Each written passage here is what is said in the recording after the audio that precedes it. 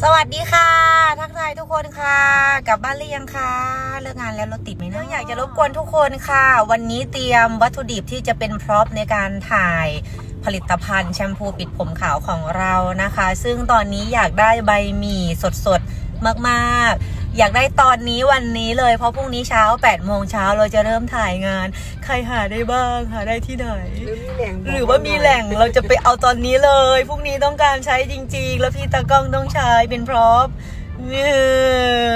เอ่ออะไรนะ